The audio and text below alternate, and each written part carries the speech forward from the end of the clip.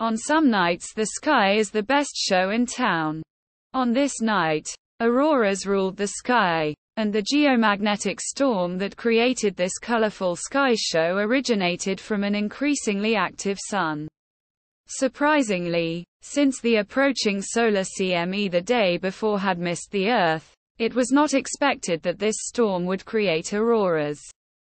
In the foreground, two happily surprised aurora hunters contemplate the amazing and rapidly changing sky.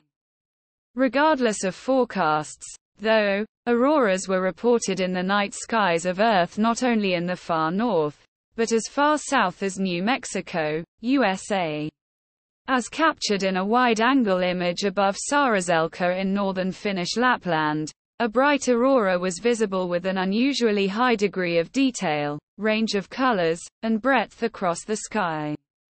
The vivid yellow, green, red and purple auroral colors are caused by oxygen and nitrogen atoms high in Earth's atmosphere reacting to incoming electrons.